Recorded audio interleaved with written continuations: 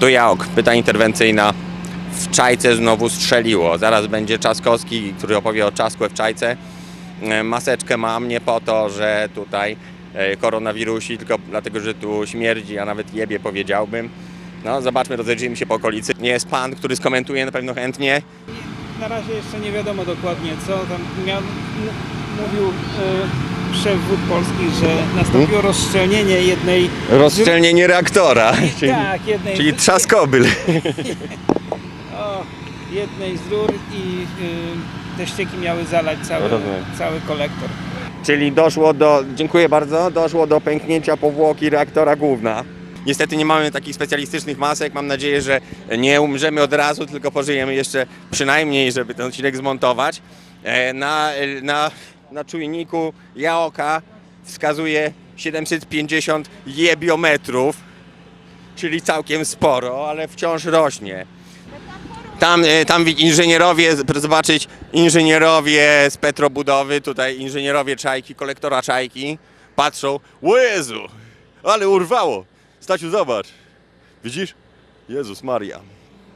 Księżyc tworzy piękną atmosferę takiej trochę tajemniczości. Rowerzystę wywrócimy. Powiedz mi, czy uważasz, że czajka może się stać symbolem nowego ruchu społecznego, ruchu LGBT, bo Trzaskowski jednak dofinansowywał tę organizację, a jednak czajka też się kojarzy z Trzaskowskim. Może to by tak jakoś połączyć.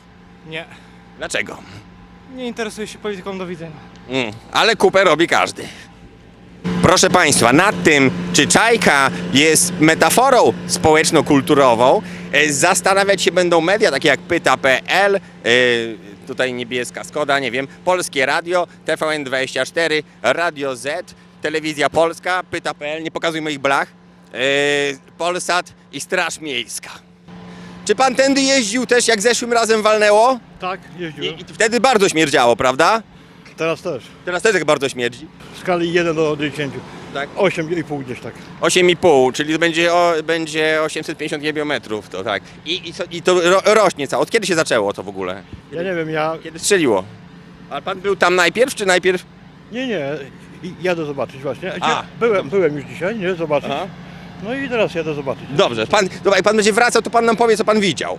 Dobra. Panowie wracają? Jak tam wrażenia? Bardzo śmierdzi? Troszeczkę.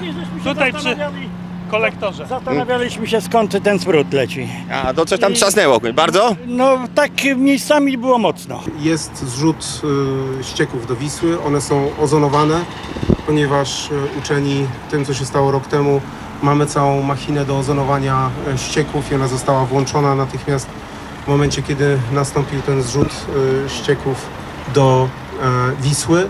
Oczywiście woda jest e, bezpieczna, oczywiście przez cały czas będą trwały w Warszawie woda do picia jest bezpieczna, przez cały czas będą trwały również oczywiście pomiary e, tej wody e, i będziemy oceniali, jakie są skutki tej awarii.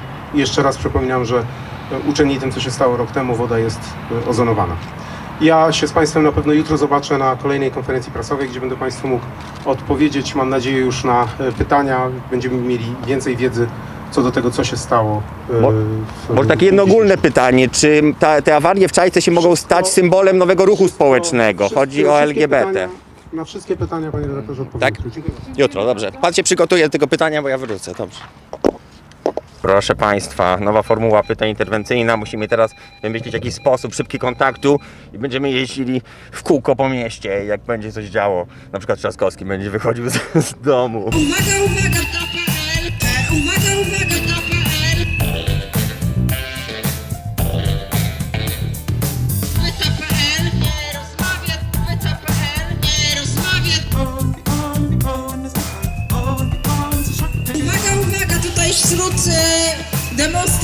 wychadzają się panowie z. To jest zupełnie bez sensu.